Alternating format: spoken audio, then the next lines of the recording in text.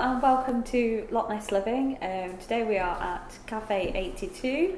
Uh, delighted to be here with Dani on the first day of season Yeah. 2018. Season four. How's the first day gone? Really lovely. Everyone's come in. Lots of locals, which is really nice. They've even brought some gifts gifts for us. So That's lovely. yeah, it was good. It really feels like it's the start of the season. The cafe opens, uh, kind of everything's getting Yeah. kind of polished down and brushed off.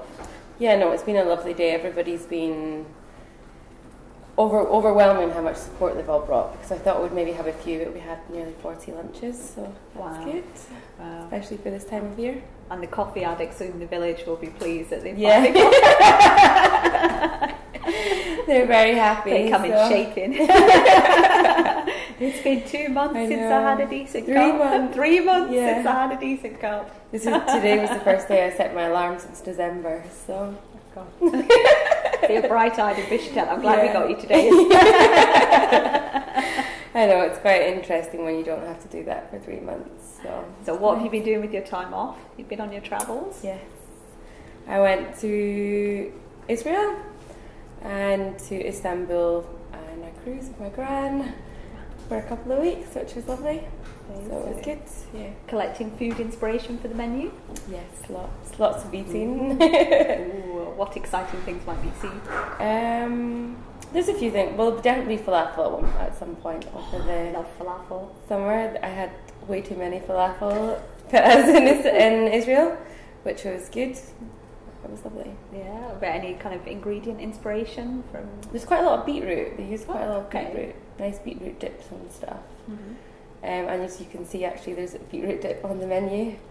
Oh, yeah. Today with roast veggies and feta, Oh, fun. um, and it's made with coconut milk um, and garlic. So it's nice. It's been roasted in balsamic glaze. Sounds fantastic. I think it's one of those ingredients that's just really good for you as well, doesn't it? Yeah, It has it's an really all over kind of health, perky benefit. And there's also a new breakfast um, quinoa. I don't know if you saw that. I saw on Instagram, I was thinking this is the, the first of these kind of food teaser things that you're going to start Yeah. posting. As every nice dish comes out of the kitchen, we'll get a little po- picture, and I'm going to be like, oh, my tummy's rumbling. yeah, so I've um, it's just like cooking porridge, the quinoa, but I've cooked. I've been I cooked it this morning in almond milk Mhm. with chia seeds, goji berries, organic soy yogurt, um, and fresh fruit. Fantastic. So yeah, it's good. That It's sounds nice. really tempting. I had it this morning and it was lovely. Does it keep you going for the rest of the day? yeah, I've not had actually anything to eat since. So I'm ready for my dinner now, so it's good. But that's yeah, no, the menu's changing. I've not really got the smoothies there yet, but Right. they'll be in the next couple of weeks. They'll be changing, and you'll see some pictures of them. Yeah. And is that going to change with the kind of seasonal ingredients and see what's uh, available in the grocers throughout the? Yeah, at the moment there's well, there's not much. Yeah. Um, fruit. Rhubarb will be soon, so there'll be hmm definitely rhubarb on the menu. We've got our little rhubarb growing outside. Excellent. So And if you get rhubarb in, then you can keep the leaves for me, and I can use them as a fixing Ah. agent, a mordant for natural dyeing.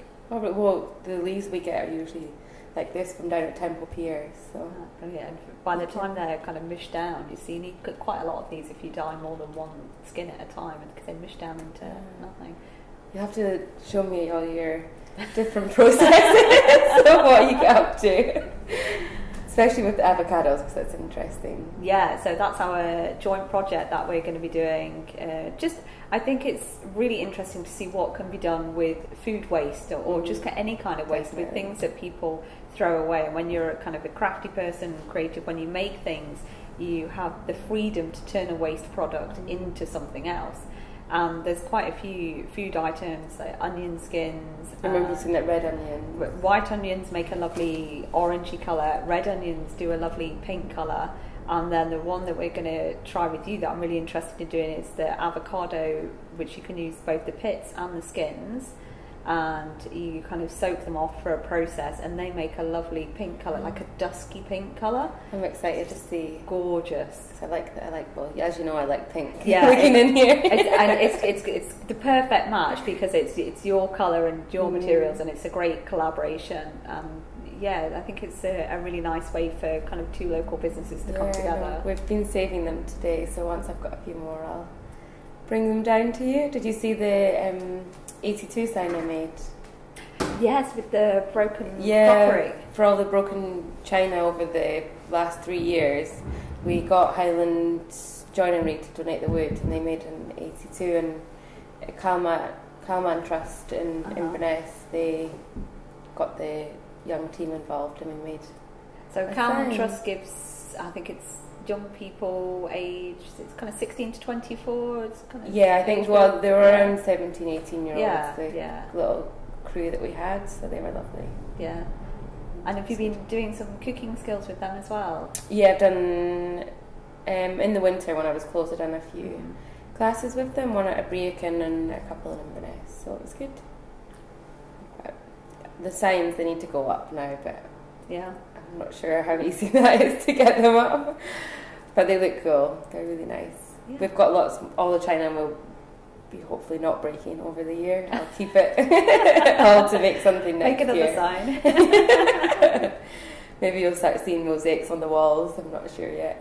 no, I, th- I think stuff like that is just, it's so nice. It gives you a really genuine Mm. feel. You know, like, um, well, when Toby, my husband, and I first met, it was in um, kind of a, a pub that had a lot of design and a lot Mm. of kind of photographs, but that had been kind of brought in to give it ye old world feel, kind Mm. of thing. And it's lovely when you go to places that have got a very authentic decorations. Where- Like where was your, that? Your personality. Well, well, that's when we were at university in Stirling. Ah. A long time ago. yeah, I think. Well, do you like my new table that just but the yellow one. yeah the with um, yeah. It's got chickens painted on it. um, a lady in Inverness was be making them and selling them on Gum gum Gumtree, so I got one from her, which is nice. I've got some decorations that are really similar to that, um, and it's part of a. I can't remember. I think it's a Chinese tradition where it's really good luck to have birds in your house, so you make birds to have in your house to try and encourage real life birds to, to come and to kind of nest in your house. And if one nests in Mm. your house, like in the porch or something, it's meant to be the sign of a happy home, so really good fortune. Hopefully, these birds will bring me some luck over the summer. I'm sure it will. Is there anything you're particularly looking forward to this season? Um, I'm more organised than normal, which is Mhm. is a great feeling. So usually at this time I'm a bit like, oh, because I've only been in business three years. Three years, yeah. I do. I'm new to it all, so I, every year it's getting easier and yeah. nicer. I think today I was ha- happy to be opening, which Yeah. is good. Are there any big changes? Mm, we are still looking for a new cook, Okay. but I'm doing the cooking with one other um, lady at the moment, and we've got a few new staff members, and I think that's about it. I've got a few functions, a small wedding in June, Oh wow. um, and that's it at the moment. I haven't Excellent. got anything else planned. So how do you think things have kind of changed since that first idea, that nugget of the, the cafe to where you are now? What were some of the big lessons for you? Oh, everything. Everything. I didn't really know what I was going to do, so Yeah. I just had an idea that I said, said I wanted to have a cafe. yeah, I wasn't sure of colour scheme, Mhm. bar, yeah, table. I wasn't sure of anything. What Yeah. the food was going to be like. I Uh-huh. had no. I just know I like to eat good food, uh-huh. drink good coffee, and I always find it hard yeah, in the Highlands of Scotland. So I just went with what I felt, uh huh. and this is what we've got. Is there anything that totally didn't work and you're like, yeah, won't be doing that again? My bread making skills at the start were terrible. One of my friends came in and told me that I had too much oil in the bowl, and since then my bread making skills have got good. Your muscles must have got pretty Yeah. good. Especially in the summer, we make between at least at least twenty. Um, no, between mm, maybe eight to twenty. Depends on the day. So one person's constantly kneading in the day. Everyone tells me to get some machines, but I'm still doing it all by hand. Well, you don't need to go to the gym. No. um, but I think everything else, it's just all come. Yeah. It's just all, it's just all happening. I think the girls always ask questions. I just tell them just to do it and see what happens. That's a really good way just to Yeah. kind of be brave and see what flies. Yeah. Is there anything that's really surprised you? Hmm. Something that you didn't think was going to work? You're like, oh, actually. a lot of things on the menu that happens is when, say, if I say to somebody, I'm going to do this, they're like, oh, I don't think that will go. but I'm like, I think it's fine. It sounds quite Uh-huh. different, but I think the flavours will work, and it does always usually work. Yeah. So. Yeah. Like what kind of flavour combinations do we have up at the moment? This morning we we just made the top menu. This morning actually we weren't still sure what we were going to put on the menu, but with the avocado, chili, and lime with red pepper and cashew, Ooh, that sounds nice. um, which was delicious. yeah. and on the homemade bread as well, fresh out of the oven. hmm It was divine. That must have smelled amazing. Yeah. I was like, do I put it on the board about trying it? Or we'll, we'll try it first, but it's t- worked out really well. And you're changing the menus daily? Um, the breakfast will stay the same, but the lunch menu changes every day. So today it's smoked tofu and mango curry Mhm. with homemade chapati um, and a lamb stew, which Jenny, the other cook, she makes the meat stews because I'm not so good at cooking meat, Mhm. and I do all the veg- vegetarian, vegan stuff. Mhm. So, So, that works out.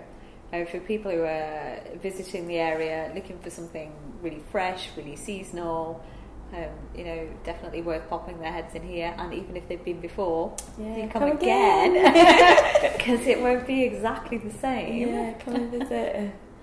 Yeah, we. I like to change the menu. It's good for for me as well because it constantly keeps Yeah. me thinking. Yeah. I don't like to just do everything the same all the time, so it's better for me. And it's good for the customers. Some of the customers like don't like change, but Yeah. then there's we can still do everything for them if they would like it. And do you find it's a it's hard to sell the, the kind of vegan, vegetarian kind of philosophy around here, or are people Um, gradually warming up to it? The first the first year, yes, Yeah. was quite hard, especially with the raw vegan cakes. Yeah. But now, a lot of people come in for them. It's more on social media, and Yeah. so everybody's would like to try it. Mhm. Especially even some of the men around here, they do come in for and try the curries, and before they would never have tried them. So it makes me happy. Yeah. even if they oh they always say it's delicious so that's nice it's a nice compliment especially from all the highland meat eaters around Yeah, and I think the the big thing it has going for it is that, that you are cooking everyday fresh on site food. So for Mhm. people, even if they're not familiar with some of the flavour combinations, just the appeal that something's been made fresh from scratch, that you can't go wrong with that. that's why we have the we do good food not fast food because That's obviously the Yeah. sometimes the wait's a little bit longer but then you know it's freshly prepared which hopefully people understand that as well I think they do, and I think that the general kind of understanding of food, and especially uh, people wanting to cut down on the amount of processing in their food Mm. and all the amount of meat in their diet, that's become a bit more. people are more aware of what they're yeah. eating I think Yeah, especially um, our age, they definitely want to eat better, I think, Mhm. and healthier. Before it was always just meat, veg, and ties. But now actually people are experimenting more, and I think everyone knows how coffee should taste now as well, which before they didn't, or they didn't really think about what they were yeah, drinking. So that's quite nice as well. yeah. And people want to know more about the bigger picture about where food has come from, and I Mm. think food sourcing um, and food origins and the journey is something that we're just beginning to, to learn about, and I think that's going to become a lot more interesting over the next few years. I think so as well, but it's quite sad. I feel like as well. You can't just go there's not many farmer markets around here. There's not the fruit and veg shops that there used to be, Yeah. which I I find that quite sad as well. Like you have Yeah. to, if you want to even do your local shopping, you have to go to the big supermarkets, and it's lost that soul. I think. Uh huh. But I always feel like well, if you're in Asia or Europe, you go to the fruit and veg shop, you go to the markets, and you pick what you would like, and it's Yeah. always really fresh. Yeah. So I think that would be nice to see that around here. So room for something like that to come back I would to love the area. that, yeah. Yeah. Yeah. Especially with that big car park I have outside. Ooh, that's very. So, People used to say that a lot about um, the fish that came from Scotland. That, Mm. that uh, the majority of that goes abroad and goes elsewhere, despite being a fantastic local Yeah. product. Um, That's it. It does actually. I worked in a restaurant not far from here, and they used to get their fish from the west coast, but they'd have to go to the airport to pick it up. But the vans would be passing, so. But it's just because it's on not on the yeah. itinerary. It would have to go to Inverness to pick it up. Yeah. So it would be nice for it to stay local. That would be nice, but it's a lot of money. Do you do fish on the menu? I don't remember Um, seeing any. just smoked salmon, but I don't do fish dishes or anything. yeah. Haven't really thought about it. A lot of people have said maybe, but the fish, Mm. um, the fish man comes on a Thursday to the post office. So if I wanted to get something, I would. That's such a taste of Highland life. Yeah. Fishman comes on a Thursday, so Thursday is the day that we will get our fish. yes. Thursdays at the post office. Lovely. Not sure. I don't think I'd put it on the menu. Okay, that's fair enough. No. I think I'd like to just keep it just keep it simple. Mm-hmm.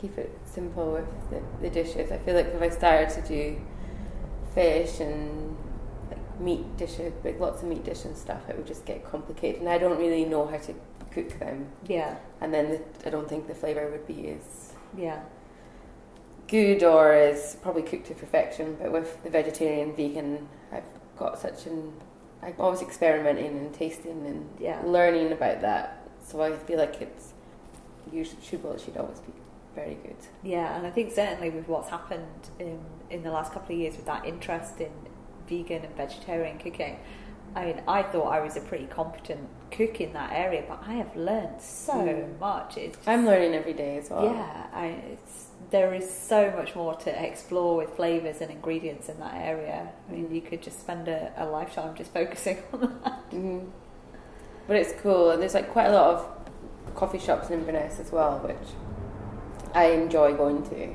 Yeah, and I like what they're doing in the food and their teas, and it's it's nice that I can go somewhere that I enjoy as well, and it's good to be able they all come here, so it's, they're all supporting each other, which is nice as well. it is to create um, a community of kind of shared interest. I think it's a really healthy thing to feed ideas. I know that I get a lot of kind of pleasure and a lot of interesting kind of trains of thought from my conversations when I go out and I meet other people Mm. who are knitting and dyeing and designing. There's always something that you can learn. You should come and do a class here and teach us. Because I would love to learn. We'll do, we'll dye you the yarn in Dani's pink, and then we'll teach you how to knit it. Yeah. that would be cool. I would love that. Excellent. You come and do a little class. Good stuff. That would be fun. Good. Well, I think that you've teased us pretty well with what's coming up in the season 2018. I'm really looking forward to seeing what's on the menu. Sorry, I'm always so busy to chat. Just glad to have you back. the shakes are gone. We've had our first cup of tea. We're back in for the season. And Hopefully, uh, it's a nice sunny season. fingers crossed for that. Yeah. Just hope you're as busy as you can cope with and maybe a little bit more. I think we're, we're there this year. We've got it under control, hopefully. Brilliant. We'll check If not, I'll still be smiling.